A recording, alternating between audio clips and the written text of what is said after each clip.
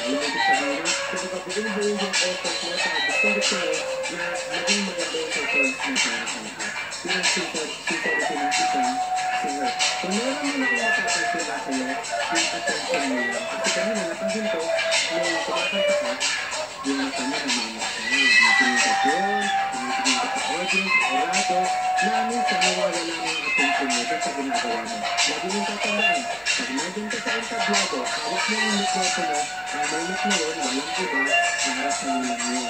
So make the most out of it, dahil yung moment na yun, yun yung pagkakataon para makikita mo kung gaano ka kagaling. Okay? Maraming salamat sa ating mga horado at kay Arthur Gabriel